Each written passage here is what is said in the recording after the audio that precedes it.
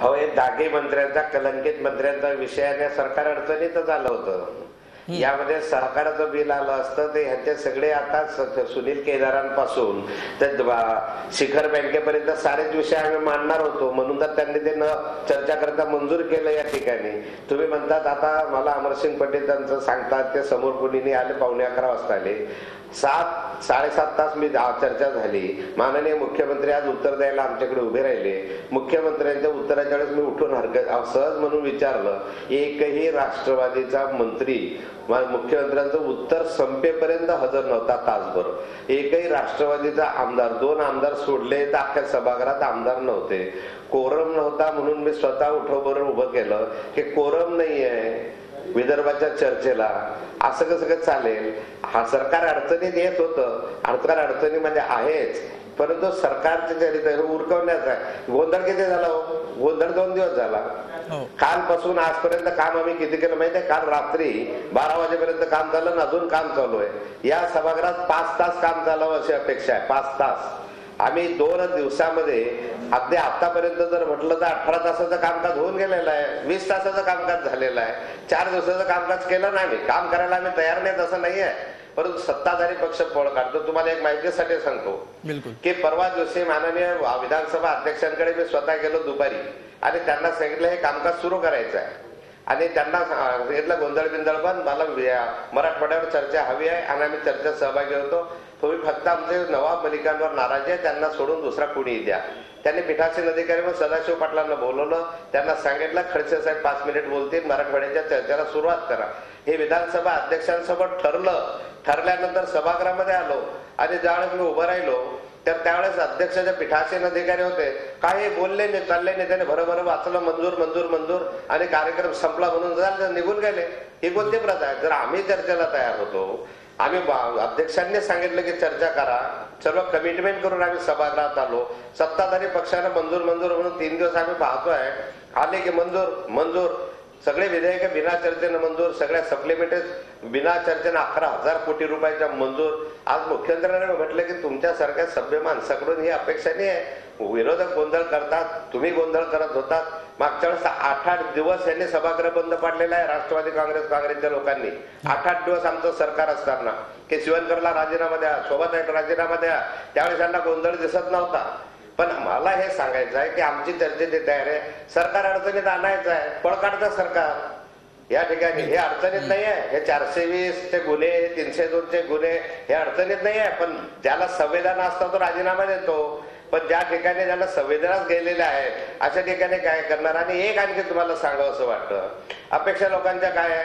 मागच्या आठवड्यामध्ये शांततेने आम्ही चर्चेमध्ये चालवलं. वर्तमानपत्रावर रकाने लिहून आले की विरोधक शांत. काहीच नाही या अधिवेशनामध्ये काही फलित नाही. गोंधळ करायला लागलो वर्तमानपत्रामध्ये गोंधळामध्ये यांनी कामकाज घालवलं. म्हणजे विरोधकांचा अजेंडा आता मीडिया ठरवणार का कोण ठरवणार? आम्हाला हे जाण आहे ना आम्हाला लोकप्रतिनिधी आहोत निवडून आलेलो आहोत आम्हाला एवढंच आहे ना की इथे कामकाज झालं पाहिजे भावना आहे. पण ज्यावेळेस प्रश्नच सुटत नाही एवढ्या गंभीर स्वरूपाच्या आणून जर सरकार उत्तर देत नसेल तर शेवटी काय तिथून बाहेर निघून यायचं? आता दागे मंत्र्यांचा प्रश्न आम्ही सोडून दिला. उद्या तुम्ही लिहि ना सेटलमेंट झाली एवढे मोठे भ्रष्ट मंत्री आहे पण खडसेंनी ते का सोडून दिले? याचं कारण काय? म्हणजे शोधत बसा. म्हणजे मग आणखी आलं की नाही? आम्ही आमचा प्रश्न लावून धरत होतो. या दागे मंत्र्यांच्या संदर्भामध्ये. बिलकुल. म्हणजे मा- मग या मा- मा- संदर्भामध्ये माध्यम जेव्हा माध्यमांच्या एखाद्या भूमिका माध्यमांची भूमिका देखील तुम्हाला त्या त्या दृष्टीने आक्षेपार्ह वाटते आहे. कामकाज थोडं गोंधळफार या विषयावर आपण चर्चा करतो आहोत. ब्रेकवर जाण्यापूर्वी एकनाथ खडसेंनी जो मुद्दा मांडला सरकारला अडचणीत आणण्याचे हर तऱ्हेने प्रयत्न झाले. मात्र आपण अडचणीत येतो आहोत हे लक्षात आल्यामुळे सरकारने पळ काढण्याचा प्रयत्न केला. याविषयीच प्रवीण दरेकर तुम्हालाही बोलायचं होतं. काय म्हणणं आहे तुमचं? नाही खडसे साहेबांचं म्हणणं अगदी रास्त आहे. कारण आपण जर विधिमंडळाचं कामकाज बघितलं तर सत्ताधाऱ्यांचा त्या कामकाजामधला सहभाग सत्ताधारी मंत्र्याने दिलेली उत्तरं आणि मुख्यमंत्र्यांनी दिलेलं उत्तर यावरून त्यांना या अधिवेशनामध्ये असणारा रस किंवा लोकांच्या प्रश्नाचं गांभीर्य त्या ठिकाणी दिसून येतं. मला या ठिकाणी अमोल सांगावंसं वाटतं की काल अंतिम आठवडा प्रस्तावावर चर्चा सुरू होती साडेबारा पावणे एकपर्यंत रात्री चर्चा सुरू होती. आम्ही भारतीय जनता पक्षाचे शिवसेना आणि मनसेचे मिळून सात ते आठ आमदार त्या ठिकाणी उपस्थित होतो. आणि नऊ वाजून चाळीस मिनिटांनी विधिमंडळाच्या सभागृहात एकही राष्ट्रवादी असेल काँग्रेस असेल मंत्री उपस्थित नव्हता आमदार उपस्थित नव्हता. त्यानंतर संजय देवतळे साहेब त्या ठिकाणी आले एकमेव मंत्री. हो. आणि त्यामुळे चर्चा या विधिमंडळात होत असताना जर तिथे उपस्थित विदर्भातला पण आमदार उपस्थित नव्हता. विदर्भात अधिवेशन आहे तर विदर्भातल्या आमदारांनी तरी त्या ठिकाणी चर्चेत रस घेतला पाहिजे होता. विदर्भातल्या मंत्र्यांनी त्याच्यामध्ये त्यांचा सहभाग घेतला पाहिजे होता. पण दुर्दैवाने तसं झालं नाही. खडसे साहेबांनी अंतिम आठवडा प्रस्तावावर एक तासाचं अत्यंत मुद्देसूद अप्रतिम भाषण केलं. यामध्ये दु दुमत असायचं कारण नाही. खडसे साहेबांच्या कार्यक्षमतेवर अभ्यासूपणावर आमच्यासारख्या नवक्या आमदारांनी त्या ठिकाणी वक्तव्य करण्याचं काही कारण नाही. ती आमची योग्यता पण नाही. परंतु खडसे साहेबांच्या प्रश्ना प्र- भाषणानंतर मुख्यमंत्र्यांनी जे उत्तर दिलं ते पूर्णपणे विसंगत होतं. म्हणजे झालेल्या मागण्या उपस्थित केलेले प्रश्न मग खडसे साहेबांनी केले असतील इतर विरोधी पक्षाच्या आमदारांनी केले असतील त्या प्रश्नांची उत्तरं त्या ठिकाणी मुख्यमंत्र्यांच्या भाषणातनं आली नाहीत. हो. आणि त्यामुळे मुख्यमंत्र्यांचं भाषण एखाद्या कॉर्पोरेट अफेअर्समध्ये एखादा एक्झिक्युटिव्ह करतो. त्याप्रमाणे तीन वर्षाच्या कालावधीमध्ये शासन काय करतंय याची वस्तुस्थिती मांडण्याचा प्रयत्न सन्माननीय मुख्यमंत्र्यांनी त्या ठिकाणी केला. खरं म्हणजे अमोल त्या ठिकाणी या अधिवेशनाला फार महत्त्व आहे. हे अधिवेशन नागपूर कराराप्रमाणे झालं. ज्या वेळेला हे अधिवेशन घ्यावं त्या करार झाल्यानंतर जो प्रस्ताव त्या ठिकाणी आणला गेला. हो. यशवंतराव चव्हाण साहेब मुख्यमंत्री असताना बारा ऑगस्ट एकोणीसशे साठ ला चव्हाण साहेबांचं भाषण मी त्या ठिकाणी वाचलं. त्यावेळेला चव्हाण साहेबांनी सांगितलं की त्या ठिकाणी आम्ही विदर्भातल्या जनतेला त्या ठिकाणी वेगवेगळ्या सवलती देतोय विशिष्ट मागण्या मान्य करतोय. याचा अर्थ त्या ठिकाणी आम्ही बनवते असं त्या ठिकाणी समजू नये. समारोपाच्या भाषणामध्ये चव्हाण साहेब त्या ठिकाणी म्हणाले होते की त्या ठिकाणी आमच्यावर राग संशय येईल अशा प्रकारचं वागणं आमच्याकडून होणार नाही. आणि हे मराठी माणसांचं राज्य आहे त्याला समानता दिली जाईल. मला आपल्या माध्यमातून नम्रपणे विचारावं असं वाटतं या सत्ताधाऱ्यांना. यशवंतराव चव्हाण साहेबांची जन्मशताब्दी वर्ष आपण साजरं करतोय. ज्या चव्हाण साहेबांनी एक आदर्श चांगली राजकारणाची परंपरा या राज्याला दिली त्यांचं आम्ही नाव सांगतो. मग ते जर एखादा विचार देऊन गेले असतील ते जर त्या ठिकाणी त्या त्या प्रस्तावामध्ये बोलून गेले असतील त्याची अंमलबजावणी करण्याची नैतिक जबाबदारी त्या ठिकाणी आपली येते. आपण पाया विदर्भाच्या अधिवेशनाच्या माध्यमातून. बिलकुल काय मिळालं नेमकं. विदर्भाच्या जनतेला? अनुशेष केवढ्या? तुम्ही तुमचा मुद्दा मांडलेला आहे. ठिकाणी 45, अमर- अमर- 50 अमरसिंग पंडित या ठिकाणी विरोधी पक्षातले दोन सदस्य आहेत. सत्ताधाऱ्यांच्या बाजूनी किल्ला लढवणारे तुम्ही एकटे आहात सध्या या चर्चेमध्ये. विशेषतः आपण मोघम चर्चा करण्याऐवजी जो स्पेसिफिक मुद्दा आता दरेकरांनी मांडला खडसे साहेबांचं जे भाषण झालेलं होतं त्या भाषणाला मुख्यमंत्र्यांनी उत्तर मुद्देसूद दिलं नाही विसंगत उत्तर दिलं. या स्पेसिफिक मुद्द्यावर आपण बोला. खडसे साहेबांनी जे मुद्दे उपस्थित केलेले होते त्या मुद्द्यांवर सरकारकडे उत्तरं नव्हती म्हणून ही विसंगती त्यांच्या मुख्यमंत्र्यांच्या भाषणामध्ये दिसली असं आपल्याला वाटतं का? असं काही वाटलं नाही. मी आता येतानाच ती माहिती घेत होतो. आता खडसे साहेबांचं जर काही म्हणणं असेल की त्यांना जे काही उत्तर अभिप्रेत आहे तेच मुख्य मान्य मुख्यमंत्र्यांनी बोलावं असं जर काही त्यांना अभिप्रेत असलं तर ते चुकीचं होईल ते. म्हणजे रेकॉर्ड एक- असतं विधानसभेचं. तिथलं भाषण खडसे साहेबांचं पण असणार. मुख्यमंत्र्यांनी दिलेलं उत्तर पण. असणार आहे. त्यामुळे आपण केव्हाही हे रेकॉर्ड तपासू शकतो. त्याच्यामुळे हे काय पुसलं जाणारं रेकॉर्ड नाहीये. एवढं फक्त मला नम्रपणाने सांगावं असं वाटतं. बिलकुल. आपण ते याबद्दल माझं याबद्दल काही एक दुमत नाही. दरेकरची काही दुमत नाही. रेकॉर्ड आहे त्यावर ते. जे चार प्रमुख प्रश्न होते. खडसे खडसे साहेब जे काही बोलले आता मला बोलू दिलं तर बरं होईल बिलकुल खडसे साहेब मी येतो तुमचा मुद्दा तुम्ही पूर्ण खडसे. साहेब मला एक दोन मिनिटं माझं मत मांडू द्या नाही खडसे साहेबांना जे काय अभिप्रेत आहे तेच मुख्यमंत्र्यांनी बोलावं असं जर काही खडसे साहेबांना वाटत असेल तर ते चुकीचं होईल शासनाच्या वतीनं उत्तर देत असताना ते उत्तर देत असताना आपण सगळ्या गोष्टींचा विचार करून उत्तर द्यायला हवं. आणि तेच मुख्य मान्य मुख्यमंत्र्यांनी केलं. सगळ्यात महत्त्वाचं अमोलजी मला तुम्हाला एक सांगायचं आहे की अपेक्षित काय आहे? आता वारंवार एक आज सांगतायत खडसे साहेब सांगताय आपलं सॉरी दरेकरजी सांगतायत की कालच्या अंतिम आठवड्या प्रस्तावाला सत्ताधारी पक्षाची उपस्थिती. मला अमोल मला एक लक्षात येत नाही. या सत्ताधारी पक्षाची उपस्थिती मुळात विरोधी पक्षानं सरकारला घेरून सरकारकडनं आपल्या मागण्या मान्य करून घेणं हे अधिवेशनातलं सगळ्यात प्रमुख काम म्हणजे आहे उपस्थित आता आमची कामं मला माझं संपू दे ना. मला आमची कामं आम्ही आपलं पत्र दिल्यानंतर जे जे काही महत्वाची कामं आहेत रस्ते आहेत कुठं काय त्या कामं निकाली लावण्याचा आम्ही आमच्या पद्धतीनं सत्ताधारी म्हणून प्रयत्न करतोय. परंतु विरोधकांना सरकारला अडचणीत आणण्याचं जे काय आपण वारंवार म्हणतायत ते विरोधक सरकार विरोधक म्हणून ते काम करू शकले नाहीत. किंबहुना आताही आपण पाहिलं असेल. सत्ताधिकाऱ्यामधलेच माजी मुख्यमंत्री अशोकराव चव्हाण साहेब खाली जॅक ज्या मराठवाड्याच्या संदर्भात बोलत असताना अतिशय आक्रमकपणे बोलले.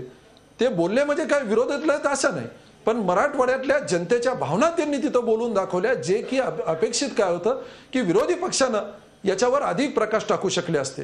सकाळी सुद्धा तीच परिस्थिती झाली. दोनशे साठचा प्रस्ताव मांडत असताना विरोधी पक्षातलं कुणीच नव्हतं. आम्ही सत्ताधारी पक्षातले राष्ट्रवादीचे लोक आम्ही बोलत असताना तिथं विरोधातले म्हणून आम्ही आम- आमची भूमिका तिथं विरोधी पक्षाची भूमिका आम्ही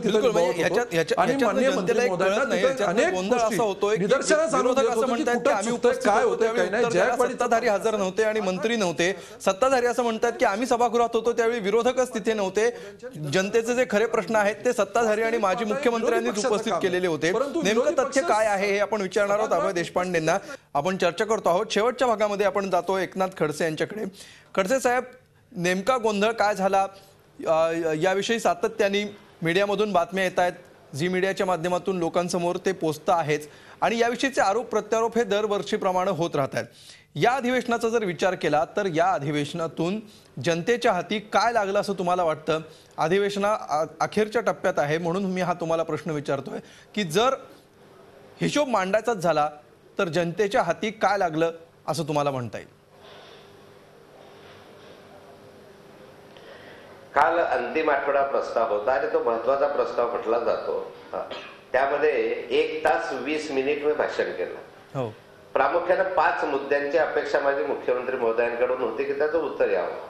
पहिला विषय जो मी काढला मुख्यमंत्र्यांच्या समोर की कापूस धान सोयाबीन सोयाबीन आणि काळी ज्वारी या संदर्भामधले भाववाढीच्या संदर्भामध्ये आपली भूमिका काय आहे?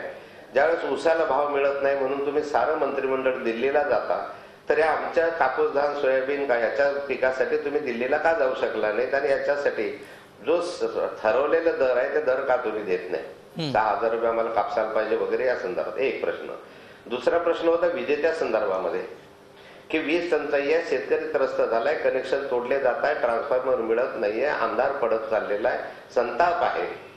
आपला या संदर्भामध्ये विजेच्या संदर्भात शेतकऱ्यांना दिलासा द्यावा. आणि कनेक्शन वगैरे कट करू नये ट्रान्सफॉर्मर द्यावे या संदर्भामध्ये माननीय मुख्यमंत्र्यांनी अख्ख्या भाषणात त्यांच्या अख्ख्या भाषणामध्ये अर्धा मिनिट सुद्धा या विषयाला दिला नाही. स्पर्शच केला नाही विजेला. वरच्या विषयाला स्पर्श झाल्याने कापूसदार सोयाबीनला विजेच्या संदर्भामध्ये ते काही बोलले नाही. तिसरा विषय होता विदर्भातल्या अनुशेषाच्या संदर्भात. मी आम्ही म्हटलं होतं की विदर्भाचा अनुशेष एवढा वाढत चाललेला आहे. बजेट टाकलं तुम्ही ग्रीन पुस्तक दिलं असतं तर किती अनुशेष शिल्लक आहे आम्हाला समजलं असतं. तुम्ही लपवण्याचा का प्रयत्न केला? आता उत्तरात तरी तुम्हाला माहिती मिळावी. त्याला उत्तर सुद्धा मिळालं नाही मला. शून्य बिलकुल स्पर्श सुद्धा केला नाही. चौथा विषय या संदर्भामध्ये होता सिंचनाच्या संदर्भात विदर्भातलं सिंचन. की तुम्ही सुप्रमा द्यायचं टाळतात म्हणून आमचे सत्तर प्रकल्प बंद आहे माननीय मुख्यमंत्री त्याला बाकी उत्तर दिले की वीस प्रकल्पांना आम्ही मान्यता दिलेली आहे. आणि पाचवा होता दागी मंत्र्यांच्या संदर्भामध्ये. की राज्य सरकारची भूमिका काय आहे या संदर्भात तुम्हाला काय वाटतं? की राहिले पाहिजे की गेले पाहिजे? आ राज्याचे प्रमुख म्हणून मंत्रिमंडळाची प्रतिमा चांगली राहण्याच्या दृष्टिकोनातून तुमची नेमकी भूमिका काय आहे? सरकारने त्याला स्पर्श केला. आता हे जे विषय होते हे जनतेच्या हिताचे होते वीज वगैरे कापूस धान सोयाबीन. आता अशा वेळेस जर माननीय मुख्यमंत्र्यांकडूनच अपेक्षा असते आणि त्यावेळेस उत्तर दिलं गेलं नाही आणि एखाद्या वेळेस घोषणाबाजी झाली किंवा सभात्याग झाला तर तो गोंधळ म्हणता येणार नाही कारण तो आग्रह असतो. परंतु या अधिवेशनामध्ये काय मिळाला हा तुमचा प्रश्न जो आहे हो. तर मी आज शेवटी सांगतो तुम्हाला की मी माननीय मुख्यमंत्र्यांना आज शेवटी जाता जाता जाता माझ्या भाषणाच्या शेवटी सांगितलं. म्हटलं अधिवेशनाला ज्यावेळेस आम्ही सारे आमदार आलो तर आमच्या मतदारसंघात महाराष्ट्रातील जनतेच्या अपेक्षा आमच्याकडनं होत्या की आता अधिवेशन आहे आमदार साहेब चालले आहे आता इथून काहीतरी मिळेल. मुख्यमंत्री काहीतरी देतील. कापसाला भाव मिळेल. विजेची टंचाई दूर होईल. कायदा सुव्यवस्था राखेल. अनेक आमच्याकडून अपेक्षा होत्या. पण आता आम्ही उद्या जाऊ तर आम्ही काय सांगणार मतदारसंघामध्ये? काहीच पदरामध्ये पडलं नाहीये. भांडलो मांडलो. गोंधळ झाला गडबड झाली. तर मी एक अहिराणी भाषेतली म्हण त्यांना आज सांगली सभागृहामध्ये. हो. की म्हटलं आमच्याकडे अहिराणी भाषेमध्ये एक म्हण आहे. ज्यावेळेस ही ही मामा जत्री गेला म्हणजे मामा एखादा किंवा आम्ही यात्रेला जातो जत्रेला जातो तर मोठ्या आनंदात जातो की आता यात्रेमधून खेळ आणू मग खाऊ आणू सर्कसमध्ये जाऊ. हे ही मामा जत्री गेला आणि काही कुत्री घेऊन आला. म्हणजे काय रे यात्रेला गेला असं असंच गेला काय आणलं यात्रेवरून? ते काळी कुत्रीचं पिल्लू आणलं. म्हटलं मतदारसंघात तशी स्थिती होणार आहे आता आमची. की मोठ्या याने गेले तर अधिवेशन गाजवू अधिवेशनातून हे मिळवू ते मिळवू. आणि आले तर काय आलं एखादं कुत्रीचं पिल्लू घेऊन आले. हातामध्ये काहीच पडलं नाही अशी आमची अवस्था आहे. ही गोष्ट खरी आहे. तुम्ही सांगता ते की पंधरामध्ये पडलं नाही. विरोधक म्हणून आम्हाला चार पाच दिवसामध्ये जे कामकाज करायचं ते आम्ही केलेलं आहे. दोन दिवस कालपासून आणि आजही आत्ता सभागृह सध्या सुरू आहे. म्हणजे वीस वीस तास काम या दोन दिवसामध्ये करून मूळ जो गोंधळामध्ये वेळ गेला तो भरून काढण्याचाही प्रयत्न केला पण सरकारनं काही दिलं पाहिजे की नाही बिलकुल सर सरकार द्यायलाच तयार नसेल बिलकुल हाती शेवटी जनतेच्या हाती काहीच लागलं नाही? आणि मतदारसंघामध्ये आम्ही जाऊ त्यावेळी जनतेला आम्ही काय घेऊन आलो हे सांगण्यासाठी आमच्याकडे उत्तर नाही अशी परिस्थिती सध्या या अधिवेशनात असलेली दिसतीये अभयजी या अधिवेशनाचं फलित काय आहे असं तुम्हाला वाटतं? विरोधकांकड विरोधकांकडून विरोधकांचं नेतृत्व एकनाथ खडसे करत होते जे प्रचंड अनुभवी असे नेते आहेत. त्यांना संसदीय डावपेच आणि या सगळ्याचा गाढा अनुभव आहे. आणि दुसरीकडे त्या तुलनेने महाराष्ट्राच्या राजकारणामध्ये नौखे मानले जाणारे मुख्यमंत्री होते. जर या अधिवेशनामध्ये जसं आपण सामन्यात मॅन ऑफ द मॅच काढतो तसा जर या अधिवेशनाचा काढायचा झाला तर कुणाला मॅन ऑफ द मॅच द्यायला पाहिजे असं तुम्हाला वाटतं? सत्ता कामकाज होऊ शकलं नाही जनतेच्या हाती काहीच आलं नाही आणि विरोधकांना त्यांची उत्तरं मिळाली नाहीत. हे विरोधकांचं अपयश समजायचं की त्या अर्थाने तुम्ही म्हणतायत त्याप्रमाणे सत्ताधाऱ्यांचं यश समजायचं? नाही अमोल झालंय काय की सलग पंधरा वर्ष आपण सत्तेवर आल्यानंतर येऊ शकतो आणि विधिमंडळाचा कामकाजाचा आणि निवडणुकीचा काही संबंध नाही. असा समज झाल्यामुळे निर्ढावलेले सत्ताधारी आणि थोडी बहुत निराशा असलेले विरोधक हो. असं काहीसं चित्र आहे. मुळात प्रश्न आहे की या विधानसभेचं हे शेवटचं अधिवेशन होतं. या यानंतर या या विधानसभेचं अधिवेशन नागपुरात नाही होणार आहे. तर शेवटच्या अधिवेशनात सरकार या विदर्भाला काहीतरी देऊन जाईल अशी अपेक्षा होती. परंतु या अधिवेशनामध्ये सरकारकडून कुठल्याही पॅकेजची वा कुठलीही घोषणा झालेली नाही. जे अतिवृष्टीसाठी त्यांनी तीन हजार कोटी रुपये जाहीर केले ते सुद्धा यापूर्वी झालेले आहे, ज्याची प्रोव्हिजन पण पुरवणी मागण्यात आलेली आहे. मुळात हे अधिवेशन म्हणजे चटावरचं श्राद्ध उरकतात आणि एक औपचारिकता पूर्ण करतात अशा पद्धतीने केलेलं आहे. आणि मला वाटतं की यावेळेस मॅन ऑफ द मॅच पेक्षा पेक्षा विलन ऑफ द मॅच जर द्यायचं झालं तर तो सत्ताधाऱ्यांना देण्याची वेळ या मला वाटतं या अधिवेशनाने आणलेली आहे. बिलकुल. मॅन ऑफ द मॅच देताच येणार नाही कारण सामना कुणी जिंकलेला नाहीये शेवटी. या सगळ्यामध्ये जनतेचाच पराभव झालेला आहे कारण जनतेच्या हाती काहीच लागलं नाही असं म्हणायला लागेल. जनता हे सगळं जवळून पाहते आहे. आपण म्हणतो मतदार सुज्ञ आहेत. त्यानुसार नेमका गोंधळ कुणी घातला? गोंधळ घालण्याचा घा घालण्यासाठी प्रवृत्त कुणी केलं? कुठल्या कारणामुळे कामकाज होऊ शकलं नाही? कुणाचे हेतू काय होते? हे सगळं जनता अत्यंत सुज्ञपणे जाणत असते. आणि त्याच्यामुळे निवडणुकांमध्ये याचं प्रत्यंतर आपल्याला निश्चितपणे आलेलं दिसेल. मात्र सध्या तरी हे अधिवेशन सम संपता संपता असंच म्हणावं लागेल की या क्षणापर्यंत तरी या अधिवेश अधिवेशनात देखील बघायला मिळाली. आपण अपेक्षा करूया की पुढच्या वेळी आपण ज्यावेळी चर्चा करू त्यावेळी पुन्हा एकदा दरवर्षीप्रमाणे अशी चर्चा करावी लागणार नाही आणि काहीतरी या अधिवेशनामध्ये कामकाज होईल. काहीतरी या अधिवेशनामध्ये गोंधळामध्ये पराक्रम मानण्यापेक्षा गोंधळामध्ये एक प्रकारचा विजय मानण्यापेक्षा आक्रमकता जी आहे ती कामकाजामध्ये शोधली जाईल आणि त्या प्रकारे कामकाज होईल. तूर्त या चर्चेत सहभागी झाल्याबद्दल एकनाथ खडसे प्रवीण दरेकर अभय देशपांडे आणि अमरसिंह पंडित तुम्हा चौघांचेही धन्यवाद. रोखोकमध्ये आज आम्ही इथेच थांबतोय. ताज्या बातम्यांसाठी पाहत रहा झी चोवीस तास.